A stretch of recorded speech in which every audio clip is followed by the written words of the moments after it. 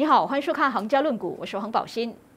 戴乐集团二零二一财政年第四季净利按年下跌百分之十一点五七，但还是宣布派息每股一点九仙。全年的核心净利累计按年跌了百分之七，低过马银行投行研究和市场的预期，只达到全年预测的百分之九十四。因此，行家将二零二二和二零二三财政年的净利预测分别下调百分之八。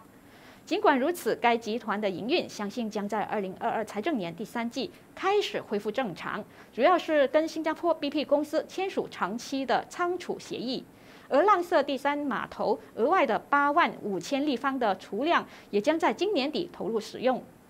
此外，边加兰项目将花费大约十年才能完全开发，目前该集团有意转换成类似新加坡玉兰岛石化中心。行家维持买入评级和四令级九十仙的目标价，